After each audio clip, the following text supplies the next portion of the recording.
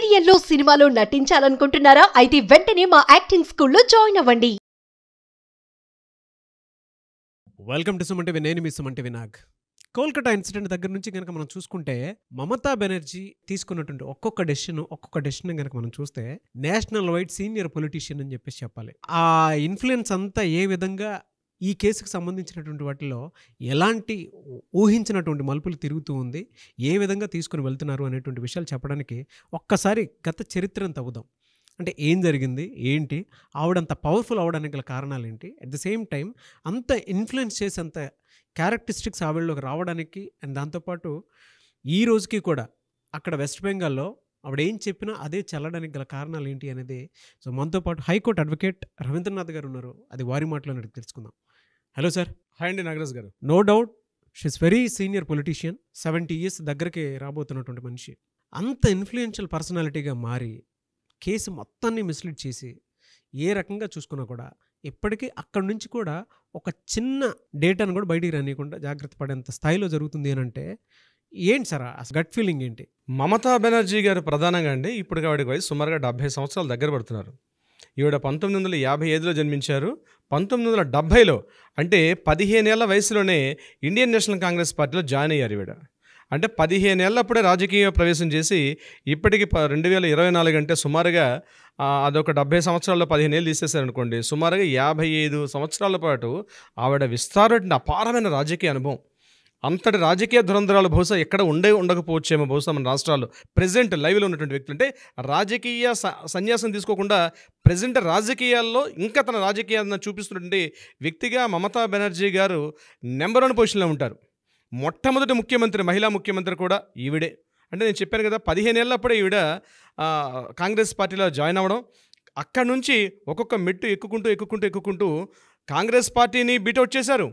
At the same time ముప్పై నాలుగు సంవత్సరాల పాటు ఆ వెస్ట్ బెంగాల్ని వామపక్ష పార్టీలంటే సిపిఐ సిపిఎంలు కూడా పరిపాలిస్తుంటే వాళ్ళని ధీటుగా ఎదుర్కొని తన తృణమూల కాంగ్రెస్ పార్టీని స్థాపించి అందులో కీలక నేతగా ఎదిగి తను పూర్తిగా ముఖ్యమంత్రిగా తను శాసించడం అనేది చిన్న విషయం కాదండి. ఇప్పుడు నేను జరిగిన సంఘటన బహుశా ఆవిడకు ఒక పీనట్ కావచ్చు. ఎగ్జాక్ట్లీ ఇట్స్ ఎ పీనట్ ఆవిడకి. ఎన్నో సంఘటనలు చూసింది. ఒకటి ముఖ్యంగా రెండు వేల ఆరు రెండు వేల ఏడు ఈ టైంలో మహా ఉధృతంగా జరిగిన ఒక ఉద్యమం అండి. ముఖ్యంగా సింగూరు ఉద్యమం. ఆ సింగూరు ఉద్యమం ఏంటంటే టాటా మోటార్స్ వారు మీకు అందరూ తెలుసు అక్కడ టాటా వాళ్ళు ఒక పెద్ద ఒక కారు తయారు చేద్దాం నాకు తీసుకొచ్చారు in the year of two thousand సిక్స్లో టాటా మోటార్స్ వారు రెండు వేల ఎకరాలు అడిగినప్పుడు అప్పటి నుండి సిపిఎం పార్టీలో ముఖ్యమంత్రి గారు ఈ సింగూరు అనే ప్రాంతంలో ల్యాండ్ ఎలా చేయడం జరిగింది. అప్పుడు ఇట్లాంటి ప్లాంట్ మనకు అవసరం లేదు. ఈ రైతులు ఇంపార్టెంట్ ఇక్కడ.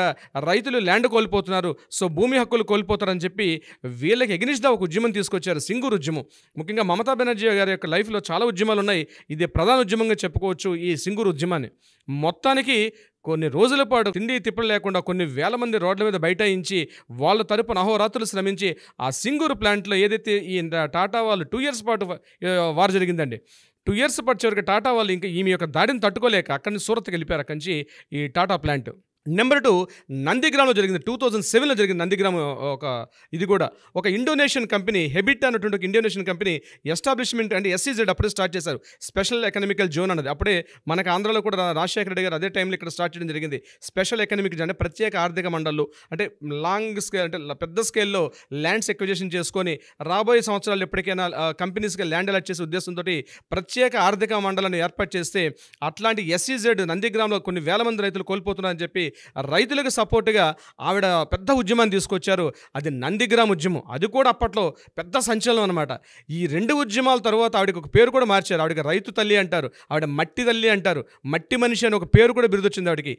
ఈ రెండు ఉద్యమాల ఫలితమే ఆవిడ రెండు వేల పదకొండులో టీఎంసీ పార్టీ అధికారంలో రావడానికి కీలకమైనటువంటి విషయం అయింది. ఎందుకంటే అప్పటి వరకు టీఎంసీ పార్టీ ఇది పంతొమ్మిది వందల తొంభై ఏడులో స్టార్ట్ అయినప్పుడు కూడా టీఎంసీ పార్టీ చాలా ఒడిదుడుకులు ఎదుర్కొంది. తర్వాత వచ్చే రెండు వన్ టూ థౌజండ్ నైన్టీ నైన్లో స్టార్ట్ అయింది. టూ థౌజండ్లో వన్లో వచ్చిన ఎలక్షన్స్లో కూడా తృణమూల కాంగ్రెస్ పార్టీ ఓడిపోయింది. నామరూపాలు లేకుండా ఓడిపోయింది అప్పుడు ఆ పార్టీ. అటువంటి సందర్భాల్లో ఈ రెండు ఉద్యమాలు ఆవిడకి అంటే నేను ఎందుకు విషయం చెప్తున్నానంటే ఒక ఉద్యమాలు ఎలా చేస్తారు? ఉద్యమాల యొక్క మనసత్వాలు ఎలా ఉంటాయి? వాళ్ళ సైకాలజీ నేను చెప్తున్నా అండి. వాళ్ళు ఏ రకంగా ఆలోచిస్తారు? అటువంటి ఉద్యమాలు ఎట్లా లేపాలి? ఎట్లా తొక్కేయాలనే విషయంలో మమతా బెనర్జీ గారు చేసినటువంటి పాత్ర అమోఘం. ఆ ఉద్యమాల పేరు పెట్టుకునే తృణమూల పార్టీ కాంగ్రెస్లో ఆవిడ చీఫ్ మినిస్టర్ అయ్యారు. సో ఆవిడకి ఉద్యమం యొక్క నేపథ్యం తెలుసు ఉద్యమం యొక్క పరిస్థితులు పూర్తిగా తెలుసు. అయితే ఇక్కడ వీళ్ళు అంటే నేను కొద్దిగా టాపిక్ నుంచి కొద్దిగా చేంజ్ పక్క వస్తున్నాను నాగరాజు గారు. విషయం ఏంటంటే భారతదేశంలో ప్రధానమైనటువంటి ప్ర- నగరాలైనటువంటి ఢిల్లీ కలకటా చ- మనం చిన్నప్పుడు దూరదర్శనలు చేసినప్పుడు కూడా ఉష్ణోగ్రతలు చెప్పేటప్పుడు కూడా ఢిల్లీ ముంబై కలకటా చెన్నై ఈ నాలుగు ప్రాంతాలు చెప్తారు ఎప్పుడు కూడా. అంటే ఇవి ప్రధాన నగరాలు ఒకప్పుడు. అవును అవును. ఇవి ప్రధాన నగరాలు మనకి మనకి కంట్రీలో. అయితే ఢిల్లీ డెవలప్ అయింది ముంబై డెవలప్ అయింది చెన్నై డెవలప్ అయింది. కానీ కలకట్ట స్వాతంత్ర్యం వచ్చిన ఈ రోజుగా డెబ్బై ఎనిమిది సంవత్సరాల తర్వాత కూడా ఇప్పటికి కూడా మిగిలిన నగరాలతో పోలిస్తే అంతా డెవలప్ కాలేదు. దానికి కారణం ఏమిటంటే మార్క్సిస్ట్ పార్టీ యొక్క విధానం ఏమిటంటే వీళ్ళు కొత్త సంస్థల్ని కొత్త కంపెనీస్ని వీళ్ళు ఎంకరేజ్ చేయరు వీళ్ళు. అంటే ముఖ్యంగా ఈ పెట్టుబడిదారి వ్యవస్థని వ్యతిరేకించే పార్టీలు ఇవన్నీ కూడా మార్క్సిస్ట్ పార్టీలు. అందుకే మీకు చెన్నైలో రకరకాల కంపెనీస్ హుండాయి కానీ మొదలు ఎన్నో కంపెనీస్ వచ్చాయి ఢిల్లీలో వచ్చాయి ముంబైలో వచ్చాయి. అట్ ద సేమ్ టైం రెండు వేలు వచ్చినట్టు ఐటీ సెగ్మెంట్ పెరిగిన తర్వాత కూడా ఎన్నో ఐటీ కంపెనీస్ ప్యారలల్గా ఈ నాలుగు నగరాలతో పాటు బెంగళూరు పూణే అహ్మదాబాద్ ఈ డెవలప్ ఈ సిటీస్ డెవలప్ అయ్యి ఇంక్లూడింగ్ హైదరాబాద్తో సహా. కానీ ఎప్పటికో పురాతన సిటీ అంటే కలకత్తా నగరం మాత్రం అట్లాగే ఉండిపోయింది.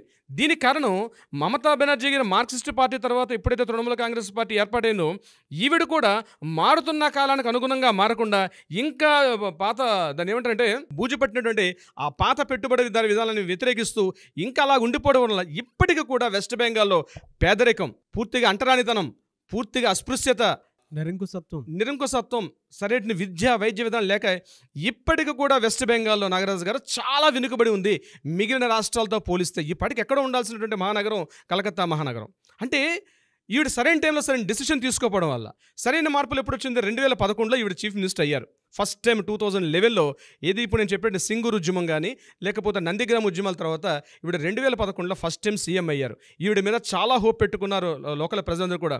కానీ ఈవిడ పెద్ద మార్పు ఏమీ లేదండి. ఇంకా ఆ బూజు పట్టిన విధానాలను పట్టుకునే ఈవిడ ఇంకా అప్పటికి అలానే ఉన్నారు. ఇంకా మార్ మారుతున్న కాలానుగుణంగా మారలేదు. ఎగ్జాంపుల్ ఇప్పుడు మన హైదరాబాద్ ఆంధ్రప్రదేశ్ తీసుకుంటే ఒక్కసారి మనకి రెండు వేల తర్వాత వచ్చేటువంటి ఈ ఐటీ సాఫ్ట్వేర్ సెగ్మెంట్ని చంద్రబాబు నాయుడు గారు కానీ ఆ తర్వాత వచ్చిన కేసీఆర్ కానీ ఆ తర్వాత వచ్చిన రాజశేఖర రెడ్డి కానీ ఒక్కొక్కరు ముందుకు తీసుకెళ్ళారు. ఇప్పుడు రెండు వేల తర్వాత వచ్చినట్టు మార్పులు ఏమైంది? ఇటు మన ఆంధ్రప్రదేశ్లో హైదరాబాద్ కానీ డెవలప్ అవడానికి కారణం ఏంటంటే తర్వాత వచ్చిన పార్టీలో వచ్చిన సీఎం అందరూ కూడా సరే పార్టీ విధి విధానాలు పక్కన పెడితే తమ వంతు ఒక ఒక కృషి చేసుకుంటూ మొక్కకు నీళ్ళు పోసుకుంటూ వెళ్ళారు. కానీ ఈ రోజుకి సాఫ్ట్వేర్ రంగం నుంచి కలకత్తా రంగంలో డెవలప్ కాకపోవడానికి కారణం ఏంటంటే మమతా బెనర్జీ తీసుకున్న నిర్ణయాలు ఒక రకంగా కారణం. ఇప్పటికి కూడా అస్పృశ్యత నిరంకుశత్వం విద్య వైద్యం బాగా వెనుకబడినటువంటి ఒక కలకత్తా నగరం ఇప్పటికి కూడా ఉంది. కానీ వాళ్ళలో పేట్రియటిజం పేట్రియటిజం మాత్రం ఇప్పటికే తగ్గకుండా అదే స్థాయిలో ఉంది. అయితే మమతా బెనర్జీ గారి విషయానికి వచ్చినట్లయితే తను ఉద్యమాలు చేసే వాళ్ళ యొక్క విధి ఇప్పుడు నేను చెప్పినట్టుగా ఈ ఉద్యమాలు చేసే వారి యొక్క మైండ్ సెట్లు ఎట్లా ఉంటే ఆవిడకి బాగా తెలుసు ఈ విషయంలో. టూ థౌజండ్ సిక్స్ ఆ ప్రాంతంలో ఈ బరిహిసెట్ దగ్గర మత ఘర్షణలు బాగా పెరిగాయి. మత ఘర్షణలు బాగా పెరిగాయి. అంటే ఒక చిన్న ఎవరో సోషల్ మీడియాలో ఒక పోస్ట్ పెట్టారు. అది ఆ పోస్ట్ ఏమైందంటే హిందూ ముస్లిమ్స్ మధ్య బాగా పెద్ద వివాదం రాజుకుంది. అది ఎంతగా వివాదం రాజుకుందంటే కొన్ని వందల మంది ప్రాణాలు కోల్పోయారు ఆ బర్హిసెట్ అనేటువంటి ఒక ప్రాంతంలో జరిగిన వివాదాల వల్ల. దాన్ని కూడా సరైన విధంగా దాన్ని ఆ ఆ మత ఘర్షణని అనుకున్నట్టుగా దాన్ని కంట్రోల్ చేయకపోవడంలో ఒక విధంగా మమతా బెనర్జీ గారు ఫెయిల్ అయ్యారు. దాని తర్వాత హూగ్లీలో వచ్చినటువంటి మత ఘర్షణలు అది కూడా సేమ్ కమ్యూనల్ ప్రాబ్లమ్స్ అక్కడ కూడా. ఈ హిందూ ముస్లిమ్స్ మధ్య వచ్చినటువంటి ఆ విధి విధానాలకు కూడా సరైన విధంగా కంట్రోల్ చేసుకోవడం వల్ల. ఈ టైంలో ఏమైంది ఇక్కడ? రెండు వ్యవస్థలు అండి ముఖ్యంగా వెస్ట్ బెంగాల్లో. ఒకటి communist communist communist party Congress party BJP party.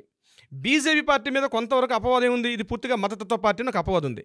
Communist party పెట్టుబడిదారు విధానం పూర్తిగా వ్యతిరేకత ఉంటుంది. కాంగ్రెస్ పార్టీ వీళ్ళు సెక్యులర్ పార్టీస్ విధానం ఉంటారు. కానీ ఈ మధ్యలో తృణమూల పార్టీ కాంగ్రెస్ ఈ టీఎంసీ పార్టీ ఏదైతే ఉందో తను కంప్లీట్గా ఎటు చే- బ్యాలెన్స్ చేసుకోలేక కంప్లీట్గా ఒక విధంగా చెప్పాలంటే మూడు సార్లు ముఖ్యమంత్రిగా రెండు వేల పదకొండు రెండు వేల పదహారు రెండు వేల ఇరవై ఒకటి మూడు సార్లు ఎన్నికైంది ఆవిడ అది చీఫ్ మినిస్టర్గా. కానీ రెండు వేల ఇరవై ఒకటి తర్వాత నుంచి ఆవిడ యొక్క గ్రాఫ్ తగ్గుకుంటూ వచ్చింది. ముఖ్యంగా శారదా చిట్ ఫండ్ స్కామ్ అయితేనేమి తర్వాత వచ్చినటువంటి మరికొన్ని చిట్ ఫండ్ స్కామ్స్. రకరకాల చిట్ ఫండ్ స్కామ్స్లో ఇరుక్కుపోయిన చాలామంది అక్కడ కొన్ని కోట్ల మంది అక్కడ నష్టపోయారు ఈ చిట్ ఫండ్ స్కామ్లో పెట్టి.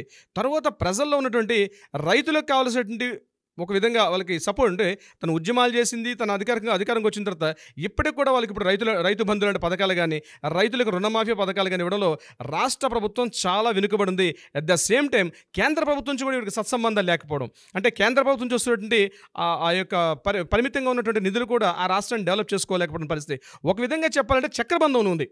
ఆవిడ ఫైనాన్షియల్గా ఆర్థికంగా చెప్పాలంటే వెస్ట్ బెంగాల్ స్టేట్ మాత్రం మిగిలినటువంటి రాష్ట్రాలతో పోలిస్తే కొంత చక్రబంధంలో ఉంది. మమతా బెనర్జీ తీసుకున్నటువంటి కొన్ని చారిత్రక తప్పిదాల వల్ల.